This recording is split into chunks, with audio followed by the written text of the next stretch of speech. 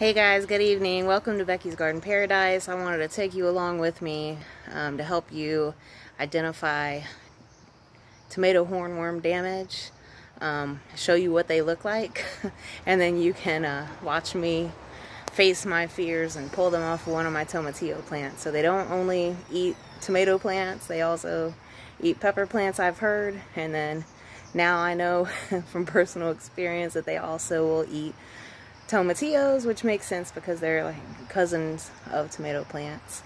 So come along with me for this adventure.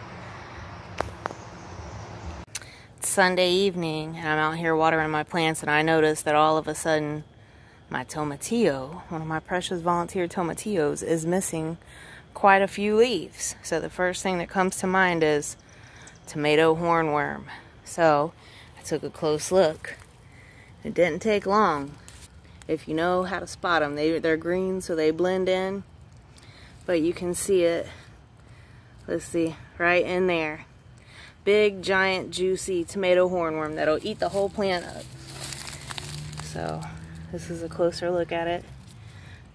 This is the my biggest enemy for um, tomato plants and obviously it likes tomatillos so this is not good because my tomatillo is fruiting, has all these little flowers that have been pollinated. So I want to get some tomatillos. Ooh, look, there's two of them. Two of them, devils. There might be more. If I keep looking, I might find more. But there's two, at least, on this plant. Look at that. Monsters. Imagine using that for fish bait. Devils. I'm to see if my son will assist in tomato hornworm removal this evening. All right, I'm back. Julian declined to uh, assist me in my efforts to uh, eradicate these tomato hornworms. He said, it's just a caterpillar. I told him it's a big, giant, juicy caterpillar. So I have gloves on and I hate bugs, but as a good plant mama, I love my tomatillo plant more than uh, my fear or disgust or hate for bugs.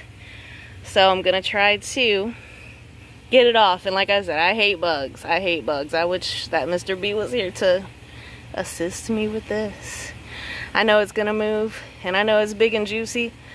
Ugh, yuck. And they hang on good. See, they got a horn looking thing on their butt. That's why it's called a tomato hornworm. It's got a good grip on my plant. Ugh, yuck. Gross. Look, it even has some kind of silk stuff that comes out.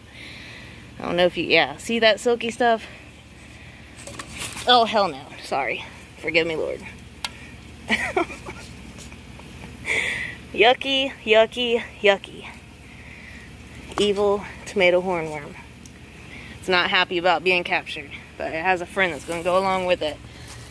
And then I'm just going to double check. Look at what it did to my poor plant. I don't know if I should prune it or if it'll grow back. Poor thing but the other one is down here. So this is uh, sounding the alarm that the tomato hornworms are out in sunny Florida. Look, it's hanging onto my plant. I have to like rip it off. Yuck. Gross. Those things are darn near the size of my finger.